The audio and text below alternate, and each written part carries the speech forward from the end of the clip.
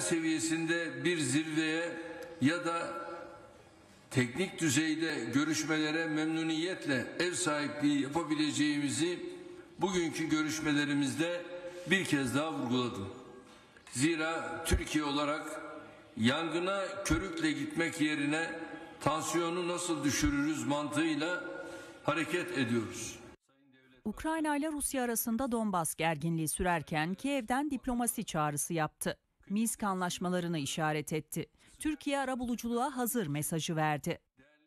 Krizin Ukrayna'nın toprak bütünlüğü ve uluslararası hukuk temelinde Minsk anlaşmaları çerçevesinde barışçı ve diplomatik yöntemlerle sona erdirileceğine samimiyetle inanıyoruz.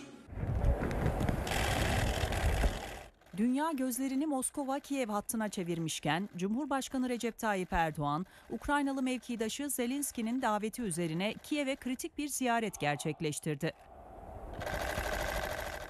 Liderler resmi karşılamanın ardından yaklaşık 3 saat süren ikili bir görüşme yaptı. Ardındansa yüksek düzeyli stratejik konsey toplantısına başkanlık etti.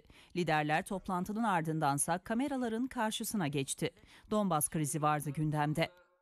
Ziyaretimiz hassas bir döneme tekabül ediyor. Kırım'da dahil olmak üzere Ukrayna'nın egemenliğini ve toprak bütünlüğünü desteklemeye devam ettiğimizi tekrarlamak istiyorum. Türkiye Karadeniz'den komşu olduğu iki dost ülke arasındaki krizin sonlandırılması için üzerine düşeni yapmaya hazırdır.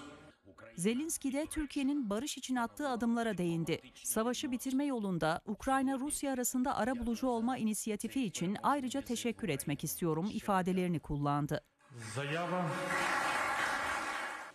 Konsey toplantısı kapsamında ayrıca 8 farklı anlaşma da imzalandı.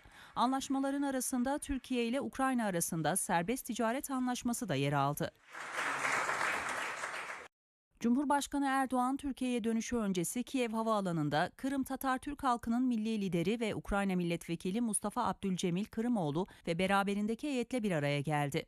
Kabul'de Dışişleri Bakanı Mevlüt Çavuşoğlu, Çevre ve Şehircilik Bakanı Murat Kurum ve İletişim Başkanı Fahrettin Altun da yer aldı.